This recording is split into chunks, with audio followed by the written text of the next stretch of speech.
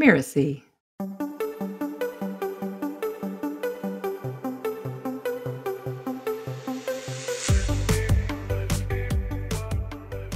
I'm an evangelist for good, honest relating, for long term sustainable relationships. That kind of community and relationship building where nobody's trying to take advantage of anybody. Everybody's bringing their honest stuff to the market, charging a fair price, not the best price. Hello, and welcome to Blowing Up, the podcast that shows entrepreneurs like you how other businesses exploded in the best possible way. I'm Linda Claire Puig, the founder and CEO of Six Figure Newsletters.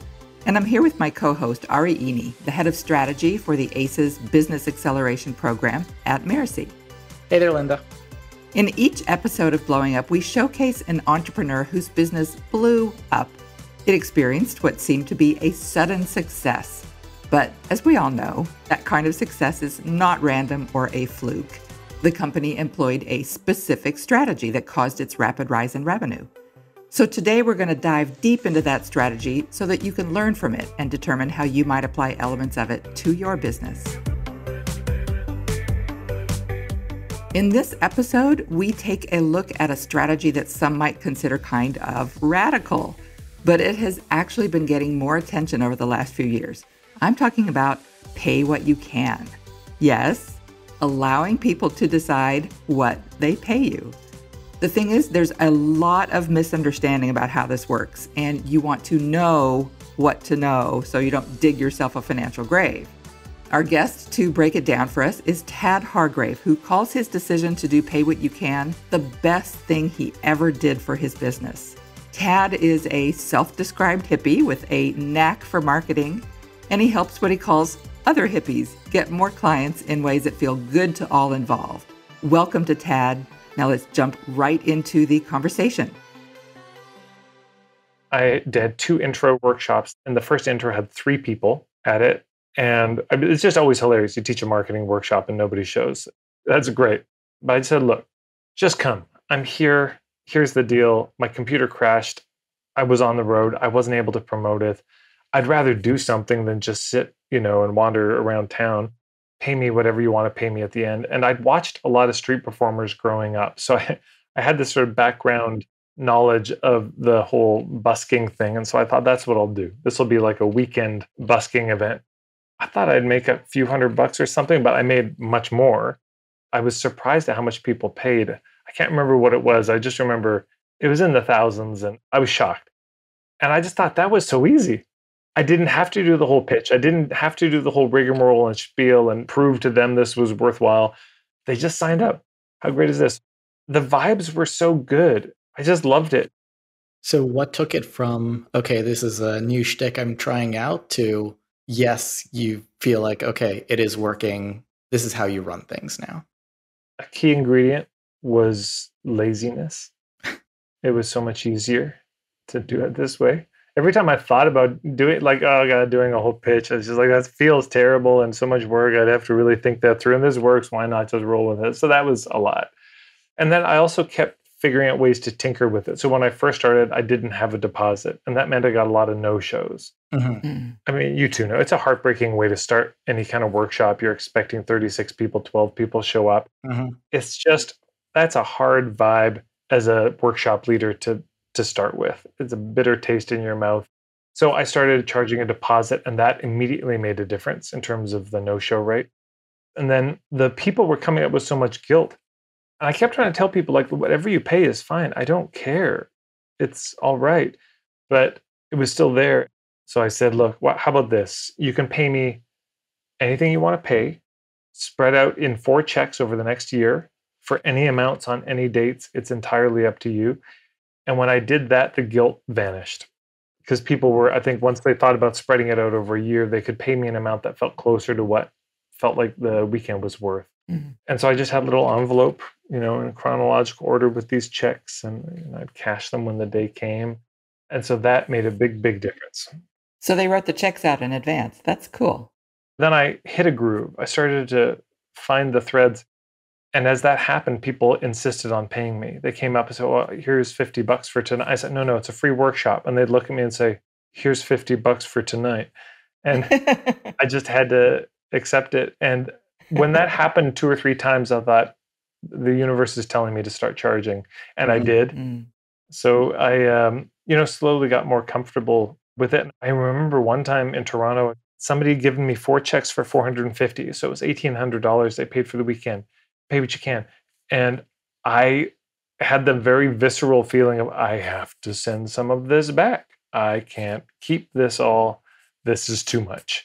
And I just like, Tad, you took half an hour at the end to explain they can pay whatever they want. She wanted you to have this, just accept it. I could see that people, if they weren't manipulated and pressured and pushed to pay, people were naturally generous Mm-hmm. if they could afford to be.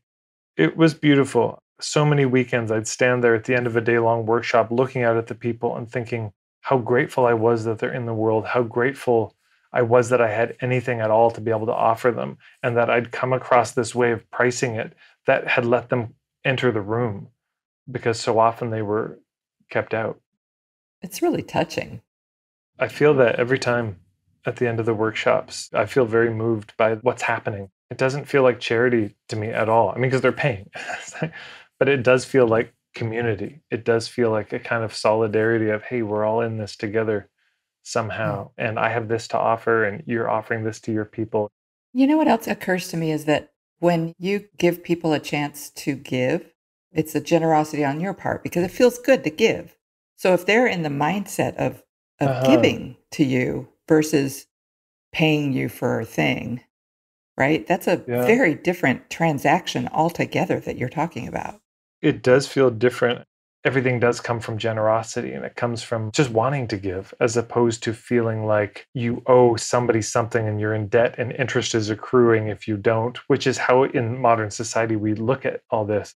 So, yeah, there is a sweetness that comes from it. You're creating a sense of goodwill on both receiver and giver. Yeah. And to me, that's the whole game of marketing. So, first, I think this is fascinating.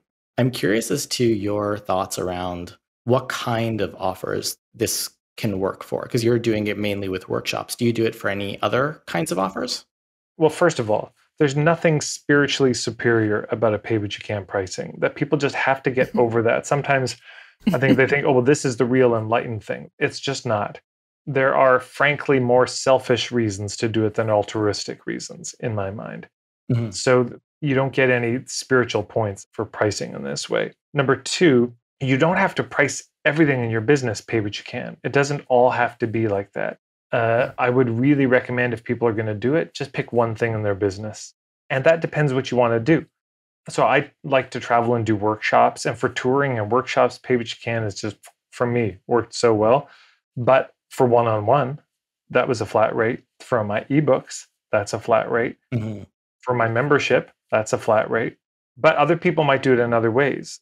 I think Mark Silver, my beloved colleague, he has a, a membership and he does that pay what you can.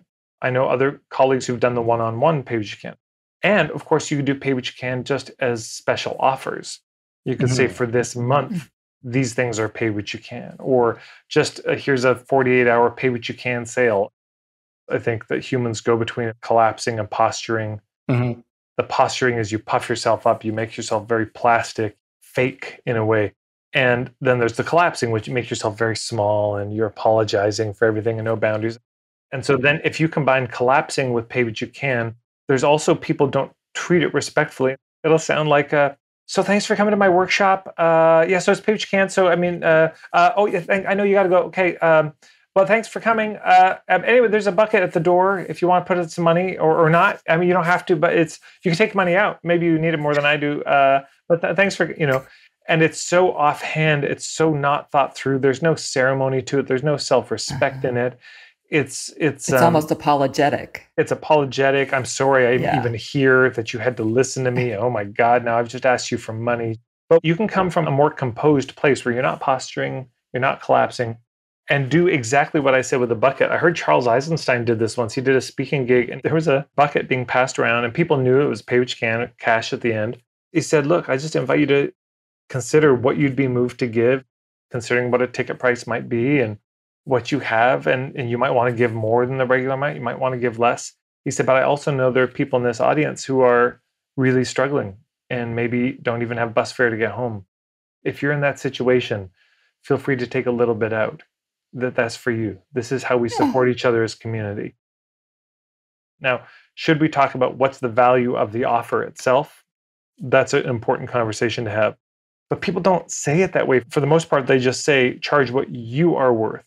They stand up on stage and they say, we know $10,000 is a lot for a coaching program. But the question you have to ask yourself is, are you, you worth, worth it? it? don't you deserve this? In fact, aren't you hurting the world by not spending $10,000 in my program? It's like, oh, me spending this $10,000 is me saying I'm worthy. I just say, just so we're clear, this has nothing to do with what I'm worth. I'm fine with that. This is just what did you get from the weekend and what can you afford right now? What feels right to spend? I trust that. And that, you know, that's all. I feel myself just taking a big, deep breath hearing all yeah, this. It just same. feels it feels so sweet. Isn't that funny? Yeah. Talking about money can feel sweet and relaxing. Talking about marketing can feel sweet and relaxing. What needs to be in place for somebody to do this? One thing that needs to be in place, I think, is having a clear sense of what you would charge if you were going to just charge the full amount. The most stressful thing for somebody sitting in a page can is they have no idea. They've never been to a marketing workshop before. So they really don't know is like $20 for the weekend? Is it 200 or is it 2000? Is it 20,000? Like they're so drowning in no idea. So what I started doing with the day long workshop is I'd say, look, it's $200 flat fee if you just want to pay that. That's fine. Because some people also the the stress of pay what you can was enough that they're like i just want to pay up front and deal i don't want to have to deal with pay what you just can. tell just, me. just tell me and i'll pay you and that's fine. You have to make sure you give yourself time because this is part of the overgiving is people will get to the end of the workshop and there's no time to talk about the money so you know have a timer just make sure that you are set that like 15 minutes before the end you're moving into that you know, this is still part of the sales process. It's not about avoiding sales. It's about this is a different way to do it. Yeah. I mean, the mistake would be you say in a live workshop, here's an envelope at the end before you leave, just put the money in and put it. Because there's also something about ceremony and ritual, which I think also means something mm-hmm. to people out of respect for what you did that day, out of respect for yourself, and out of respect for them take some time to slow it down and talk about it to make sure that they're giving an amount that is going to feel good to them. So you talk about all the things that you know are already in the room. You know they're sitting there the whole day trying to figure out what they're going to pay.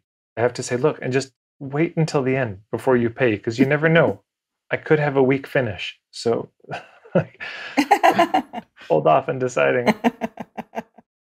Obviously, in the past few years, we've all been somewhat grounded from in-person workshops. So do you do pay what you can online? I do. And if so, yeah, how? I, yeah, I started, I took my day long workshop, moved it mm-hmm. online. so it's the exact same workshop, slightly different format to give breaks. And we don't need an hour and a half for lunch, you know, just take mm-hmm, 2 mm-hmm. shorter breaks and a shorter lunch break. And otherwise, it's identical. Okay. Have you seen a dip over the past? Like, and now are you concerned with fear of recession and all of these things? I've seen a dip going online. I think mm-hmm. it's I'd have to do the math 60 or 70 dollars a person versus $100 in person. I don't know why that is. I think maybe there is something about being in person intimacy and also accountability in a way that's there mm-hmm. where they mm-hmm. feel a bit mm-hmm. more connected to you as a human being instead of just somebody on a screen. Do you consider yourself an evangelist for pay what you can? Like do you do you want this to be a movement? No. No, I want goodwill to be a movement. Mm. I want people relating to each other in a good way to be a movement. That's what I'm an evangelist for, is that kind of community and relationship building where nobody's trying to take advantage of anybody. Everybody's bringing their honest stuff to the market, charging a fair price, not the best price. You know, Tolkien has this line. He says, the praise of the praiseworthy is beyond all rewards. And that's how it feels being paid with Pay What You Can, is that these mm-hmm. people who you, you consider so praiseworthy are praising you in the form of money and saying, We think that what you're offering is worthwhile. So part of it is the money, but so much of it is who it came from. It's so beautiful. Yeah. Yeah. Thank you so much, Tad. This has been fascinating. Oh, well, I'm so glad to have this time with you. So let's talk. Mind blown, right? I've known Tad for a really long time and I knew very vaguely that he did these pay what you can workshops, but honestly, I was skeptical that they worked. but after hearing the details and Tad's underlying philosophy, well, call me impressed.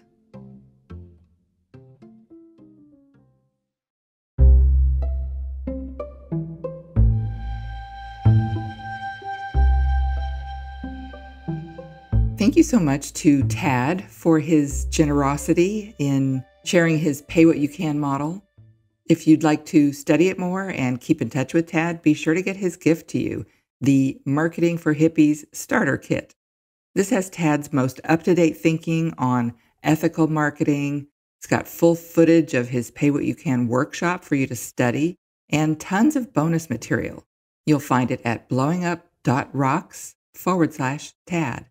That's blowingup.rocks forward slash TAD.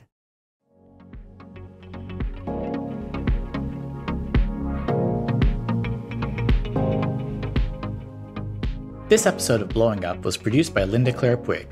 Cynthia Lamb is our managing producer, and Danny Iny, our executive producer. Post production is by Post Office Sound. To make sure you catch all the really great episodes of Blowing Up, follow us on Apple Podcasts, Spotify, or wherever you're listening right now. And if you like the show, we'd love it if you could leave us a starred review or share the show with a friend. Thank you for listening, and we'll see you next time.